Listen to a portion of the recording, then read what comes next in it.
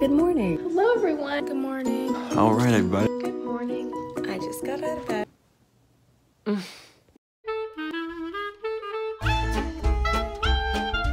My day usually starts off around 8 o'clock, 9 o'clock. So, um, when I first wake up, I usually um, do my skincare routine. No, this is the hard part. Um, I use this. It's really good.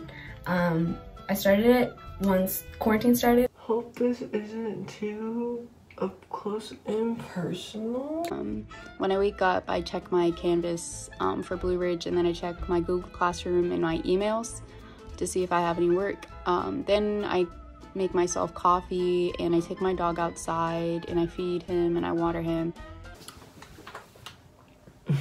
Now we're getting ready to go on a run. And I binge watch Grey's Anatomy a lot. Um, so Q&A with Maddie. Now we're gonna make pancakes. I started painting more. I'm gonna do some painting. Here's my painting so far.